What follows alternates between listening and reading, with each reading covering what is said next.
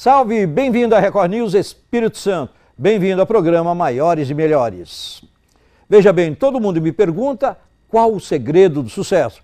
Eu não penso muito para responder, porque eu já sei a resposta na ponta da língua.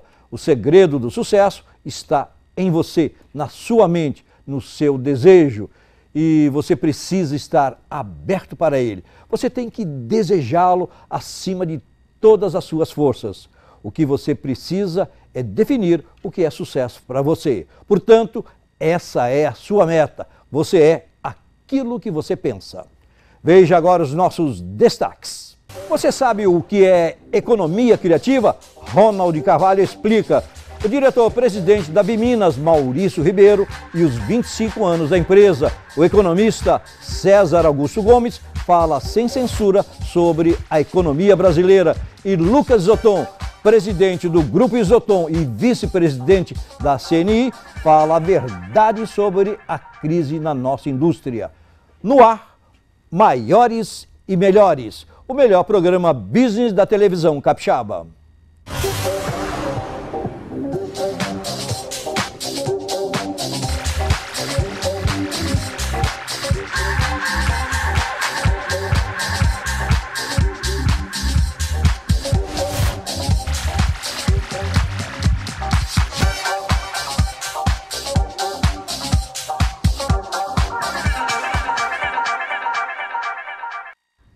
Muito bem, agora o nosso consultor Ronald Carvalho, ele fala do marketing do bem.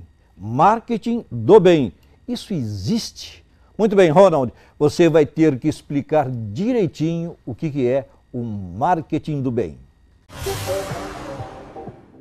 A economia criativa assume um apelo cada vez maior nas economias capitalistas desenvolvidas e em desenvolvimento. Este mês sai artigo meu sobre o tema na revista Sim. E Vladimir Godoy entrevistou o artista Duda Penteado, brasileiro residente em Nova York. Ele andou por aqui com o apoio do Instituto Sincades e da Prefeitura de Vitória. Cada vez mais, a cultura assume um papel importante na economia. O empreendedorismo, também apoiado pelo SEBRAE, cresce entre intelectuais nas áreas de arte, publicidade, produção gráfica, e cinematográfica, design e tudo aquilo que nos leva ao que estamos chamando de indústria sem chaminé. Textos da professora Ana Carla Ferreira, da FGV de São Paulo, no Google e no YouTube, mostram como este chamado marketing do bem se conceitua e evolui. Predominam nesta área, claro, os jovens.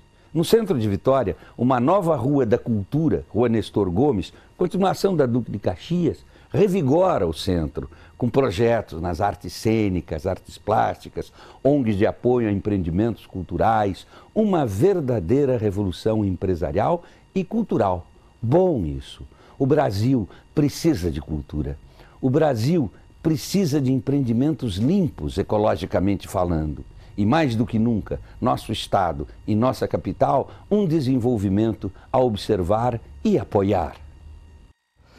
Ronald, como é bom ver essa revolução cultural, principalmente aqui no nosso estado. Mas olha, homem é homem, mulher é mulher, menino é menino, arte é arte e marketing é tudo. Agora comigo, Lucas Zotom, presidente do Grupo Isotom e vice-presidente do CNI, Confederação Nacional da Indústria. Lucas, obrigado pela sua presença aqui em Maiores e Melhores. Eu que agradeço, Vladimir. Ok, muito bem.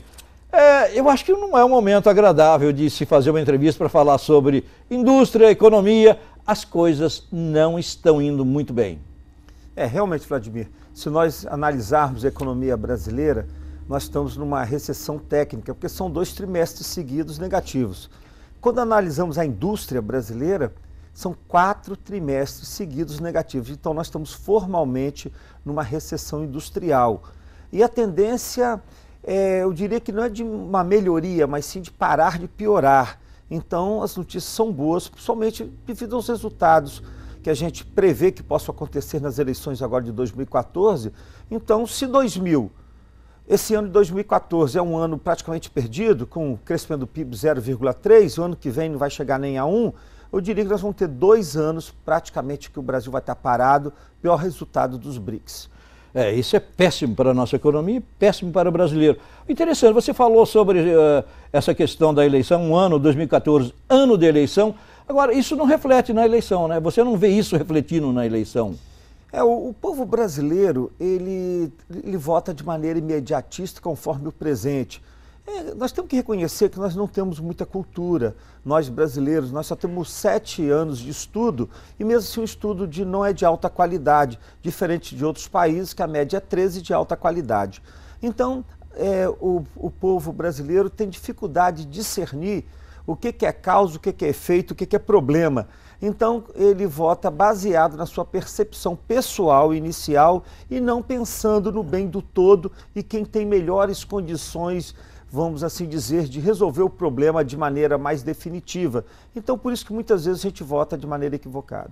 É, o brasileiro ele vota olhando para o prato que ele tem na, na frente dele, só e mais nada, né? É, exatamente. Você vê que a candidata que é líder nas pesquisas, ela se mantém por conta do Bolsa Família, né?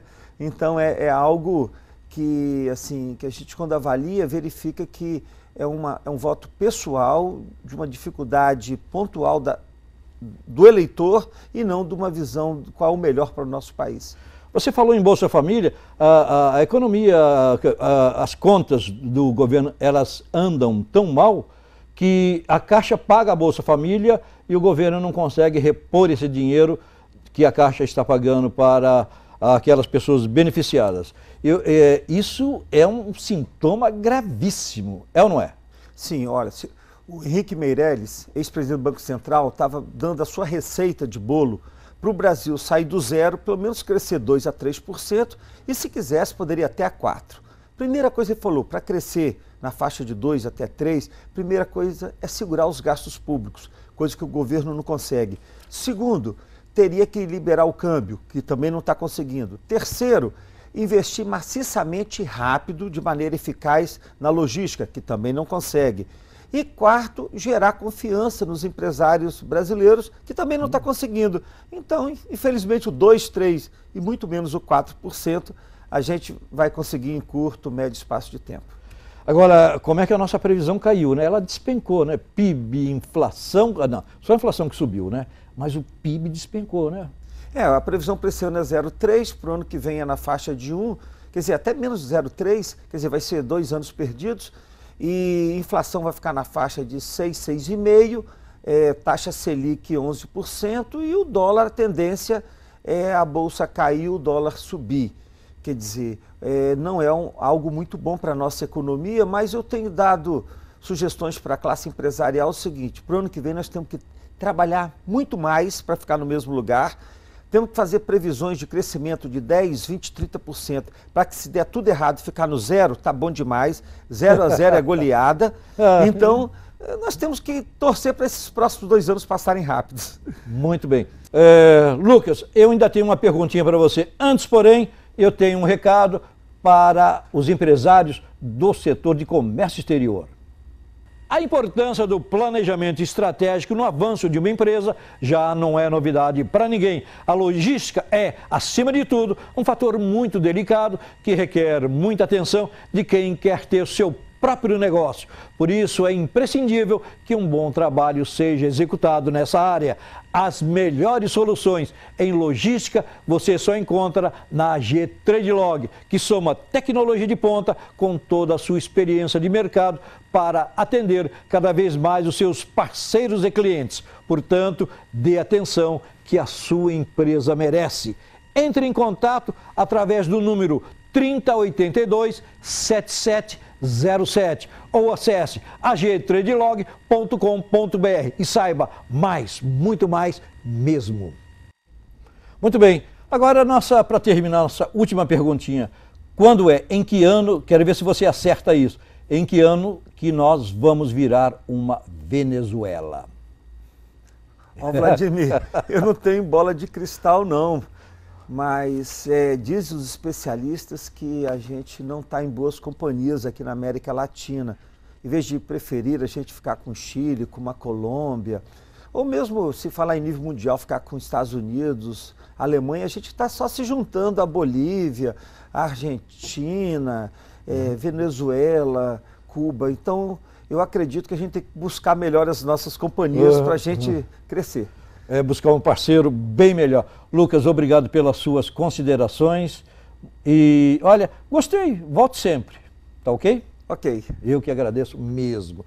A seguir, um papo sobre economia sem censura com César Augusto Gomes. Eu volto para você daqui a pouco em Maiores Melhores. Até já.